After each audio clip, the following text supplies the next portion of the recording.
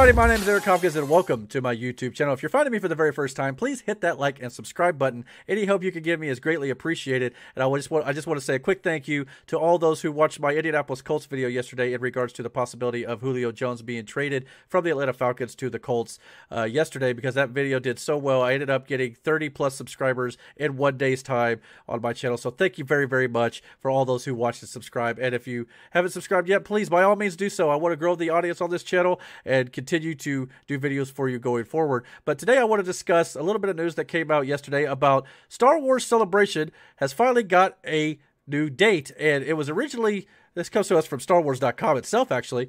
It was originally slated to be in August of 2020, 2022. I, I apologize. Uh, to but it's now been moved up a few months to May 26th through the 29th in 2022. This is great news because obviously with the pandemic, we did not get a Star Wars celebration. Uh, it was either supposed to be this year or maybe even in 2020. But either way, they had to postpone it due to the pandemic. So it's good to see that we are finally going to be getting another one. Now, obviously Star Wars recently, as of last year, I believe, came out and said a lot of their future plans. So, what could they possibly have to discuss at Star Wars Celebration 2022? Well, that is still exactly a year away. And by then, we're going to have a lot more Star Wars content that's going to be coming out over the next year. And then hopefully by then, we'll have even more room to announce new things, maybe new movies, maybe new TV shows and stuff they're working on for Disney Plus. But I thought it would be fun to kind of, on top of the news for Star Wars Celebration, to show you a little bit what Star Wars plans are as of right now, their current slate, their release slate going forward, plus all the things they've got planned for Disney Plus. So let's check this out here. This is my uh so this is all my Star Wars stuff that I have saved on my hard drive at home, and I wanted to kind of walk through the timeline here and show you some of the new stuff that is coming out from Star Wars. Uh, we start off obviously in the timeline with the new Acolyte show that is coming to Disney Plus. That's going to be centered around a female Sith at the end of the time of the High Republic. That's about all we really know about this show at this point. Uh, but I think taking the idea of a Sith obviously is something new.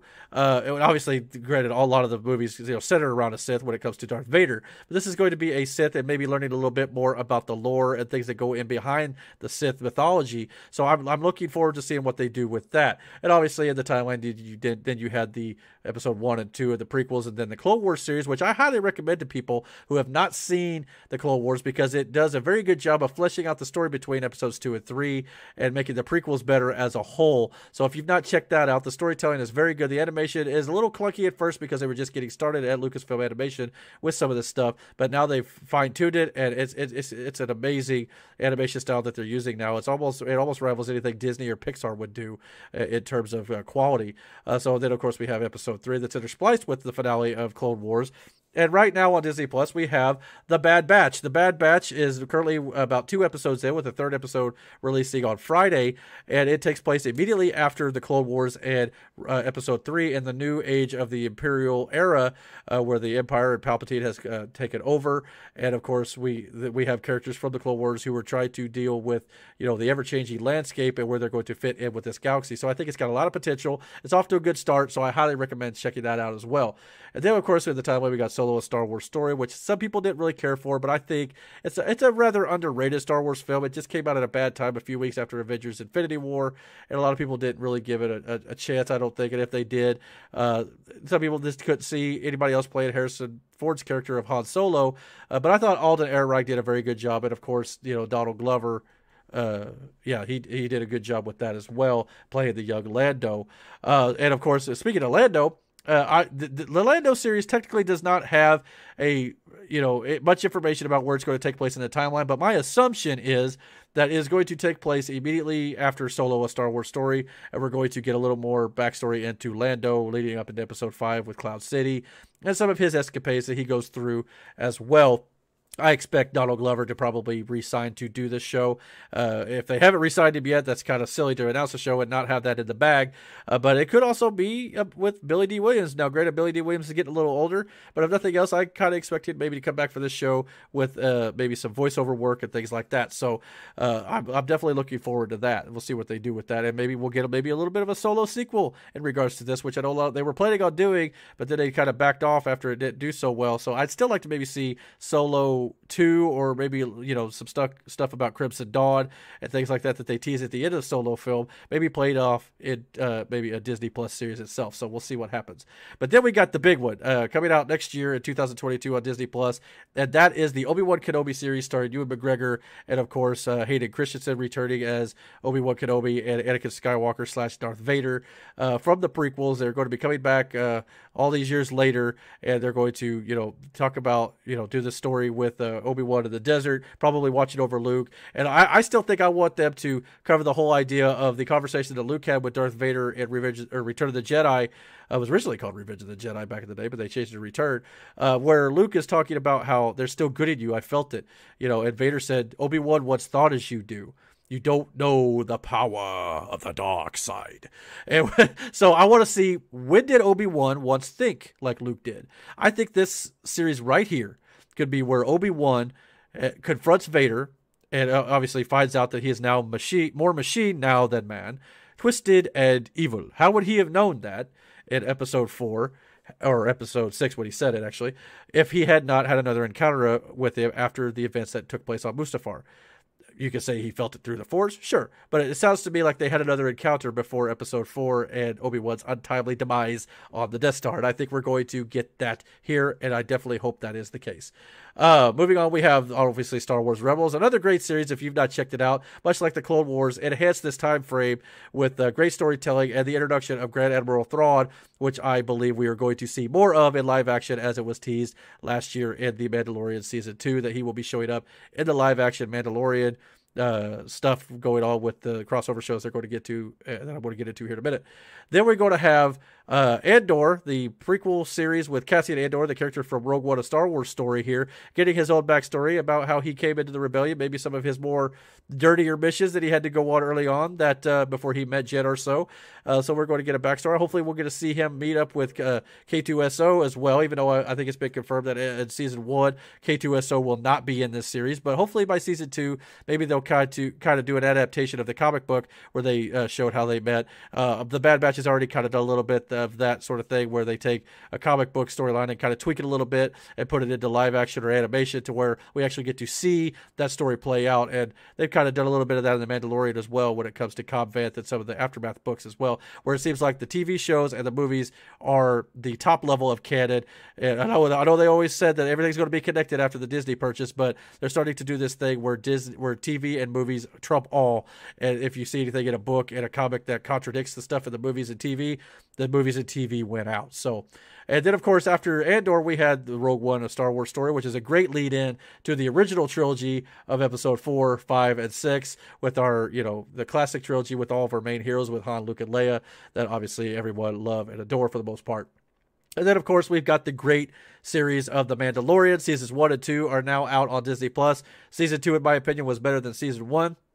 Uh, and we got some Clone Wars characters that made their debuts in live action. So if you've not seen the Clone Wars and you have watched The Mandalorian season two and want to know more about Bo Katan, Ahsoka, and a few others that showed up in that in that series, definitely go back and check out the Clone Wars. There's a lot of backstory, especially also with the Boba Fett character that uh, kind of fleshes out his character arc after uh, the death of Jango in Episode two. So definitely, I recommend that as well. And since the uh, after uh, season two of The Mandalorian, they teased the the Book of Boba Fett, which will be coming out in December of 2021 one.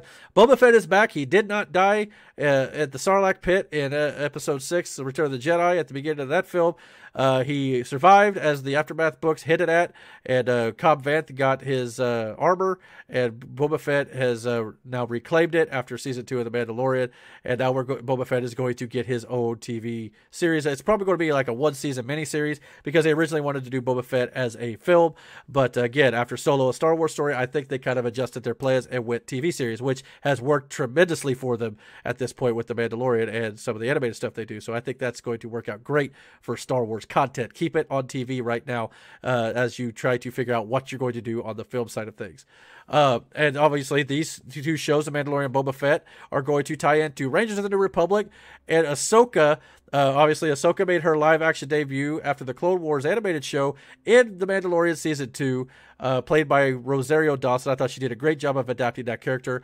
These three films, or these three shows, Boba Fett, Rangers of the New Republic, and Ahsoka, are going to be intertwined with The Mandalorian, and they're going to eventually do this Marvel cinematic thing where they t- come together in this great crossover event to uh, be a grand finale of this story. So I'm interested to see what they do there. I kind of wonder if they're going to adapt uh, the Thrawn novels but from back in the old a- EU days. I don't know if that means we're going to get like Han, Leia, and Luke. Uh, you know, still they're still around in this time. They're younger. They probably have to be recast, but never say never. We've obviously got a Thrawn mention already in the Mandalorian season two, so it does appear that that's where they're going to be going, and maybe Thrawn is going to be the big bad they've got to take over, and that's going to uh, lead us into the gap between uh, the at the end of this. It's about five years after the Return of the Jedi show, where these four shows take place, and obviously then there's going to be about another 25 year gap uh, here in between Ahsoka and Episode Seven. So we get into the sequels that a lot of people don't really care for.